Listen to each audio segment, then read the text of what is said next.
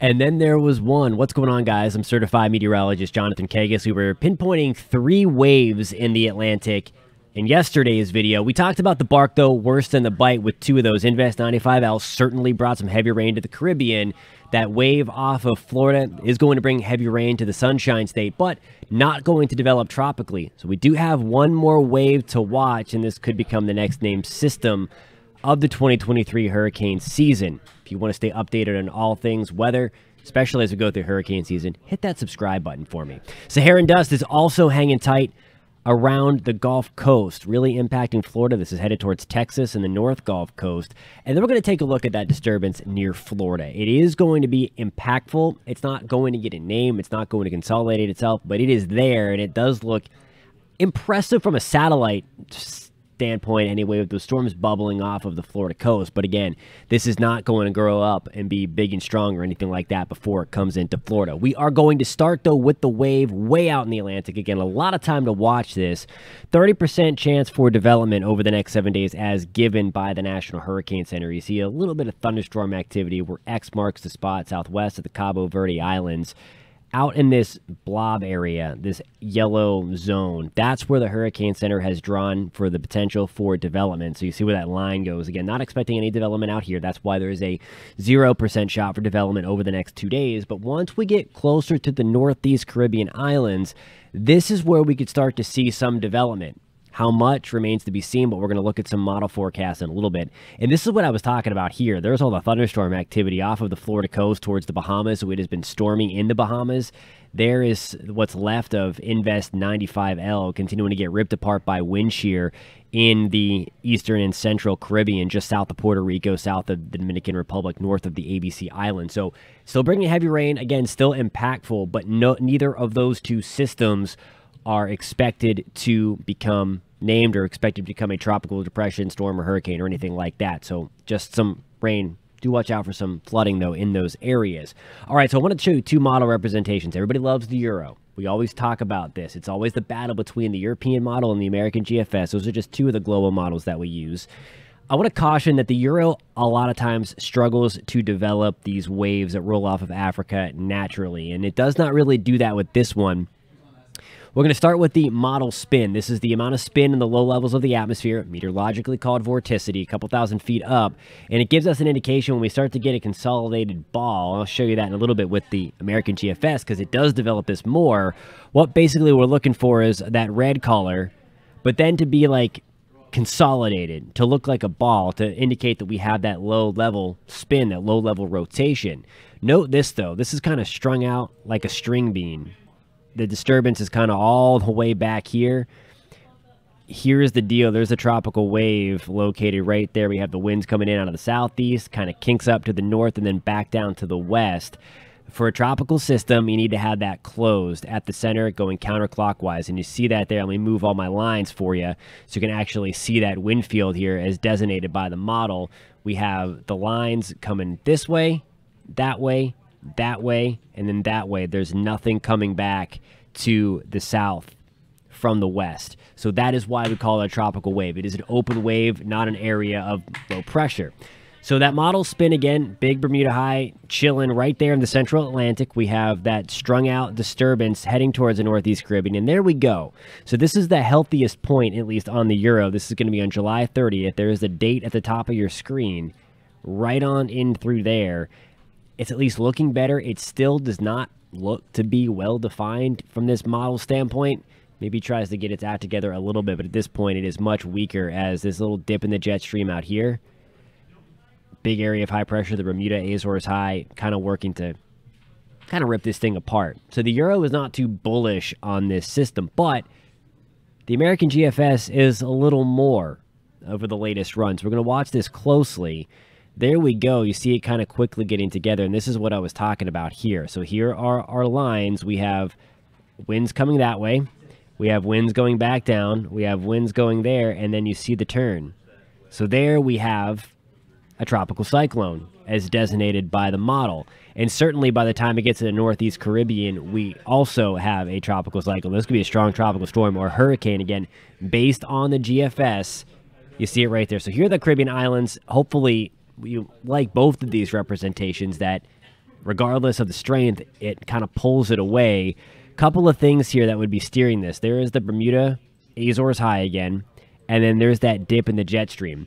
I will say is, I know it's counterintuitive, but we do want this thing to get strong quick because it would be more likely to feel the tug of that trough, that dip in the jet stream there, and then be lifted and then round that Bermuda high safely going away from the Northeast Caribbean, north from the north away from the Turks and Caicos, and then certainly missing the United States at that point. So a lot to iron out, still a lot to watch on the timing.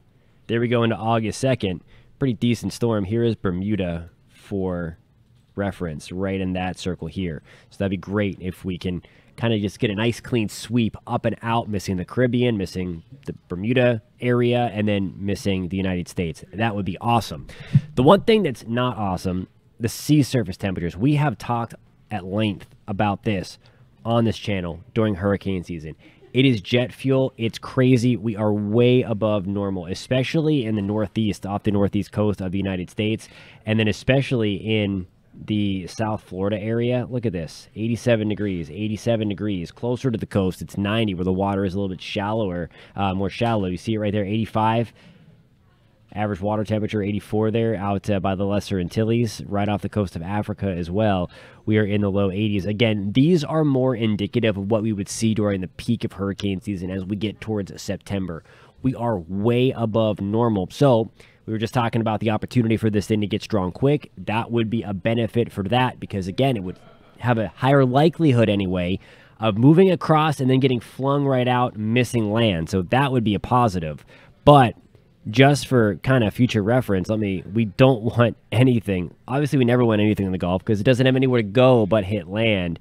But just look at this. Look how deep, dark purple it is in here. Let me bring my query back so I can show you what I'm talking about. And it's right in there. There you go. There's that 90 near the Bahamas. One of the buoys down uh, in the Florida Keys recorded a water temperature a couple days ago of 101 degrees.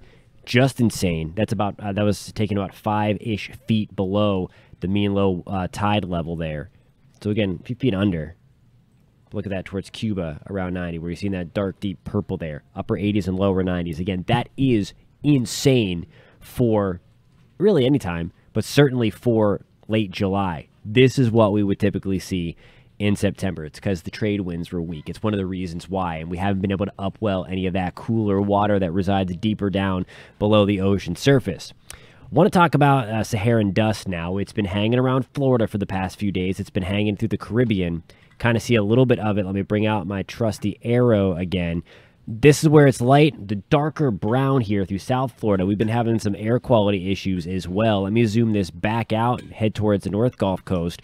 We have it around the Big Bend of Florida. We have it off the Tampa coast into the Gulf of Mexico, New Orleans. We're seeing some of that dust. It's lighter in Houston and San Antonio, but it is there. Certainly, it's going to help to enhance the sunrise and sunsets at this point because it's kind of that Goldilocks scenario. Too much and it kind of makes for a milky, filtered sun, kind of ugly and dreary outside. Too little doesn't really do anything, but just right. And you start to get that sunlight reflecting off of that uh, particulate matter uh, about 15 to 20,000 feet above your head. Going back a little more, I have to wait for the satellite channel to update. If it does, we do have a lot of that dust back in here too. So our system that we just looked at will be fighting a lot of dry, dusty air. I want to show you the dust forecast now, especially for the North Gulf Coast and the Atlantic side of Florida. There we go at 8 o'clock on Wednesday, July 26th, a little bit later on in today from the recording of this video. But you see it right there, a lot of dust in South Florida. There's some of that brown again sliding towards San Antonio and Houston, and that brownish film on your screen will continue to light things up from New Orleans back to Houston, San Antonio.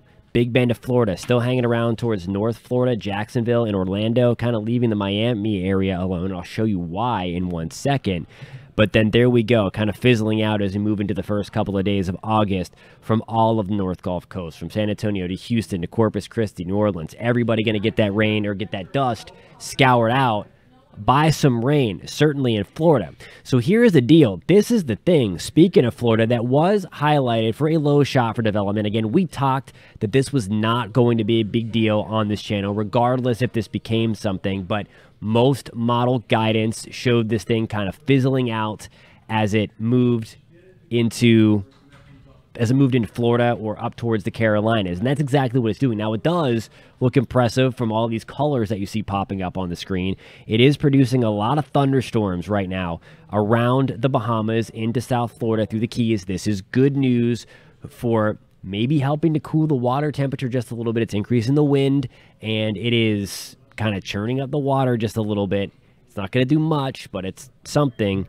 But nonetheless, there's our little disturbance. We have I'll show you. We have a little itty bitty upper low spinning right in here. See it? Watch the last couple of frames. Right off the southwest tip of Cuba. We have another one here. Watch it closely. And then our tropical wave is kind of right on through here. So that was the thing that was highlighted. So there's kind of three systems that are going to be impacting Florida, really all working together to kind of increase those rain chances.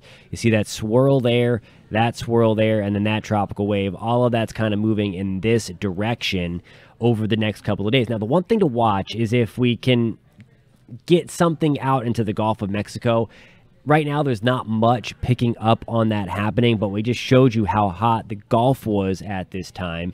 If we did get a circulation to kind of leave the Gulf Coast of Florida and then head over in that direction, water temperatures near 90 degrees, we would have to watch that closely uh, for the potential for something to develop before it got to Louisiana or Texas. Again, that is on the outside right now of the realm of possibilities, but anytime we can get any kind of thunderstorm activity in the Gulf, especially when it's that hot. Got to watch it closely. Again, we'll keep you posted on that. But right now, there are no big threats to land from the tropics where you're going to watch that one closely out by Africa but most indications are that this will curve again cautiously optimistic it is way too early in the game but we're going to keep a closest eye on the northeast caribbean and then for our friends in bermuda thank you guys so much for tuning in again if you found this content helpful if you want to stay updated on all things weather this hurricane season you have to hit subscribe please do that oh yeah if you hit that little notification bell it's going to let you know anytime that we post new content so that you can be the first to know and the first to stay updated on anything that's happening weather-wise especially in the tropics as we continue this hurricane season. Thank you guys so much for tuning in. We'll catch you next time.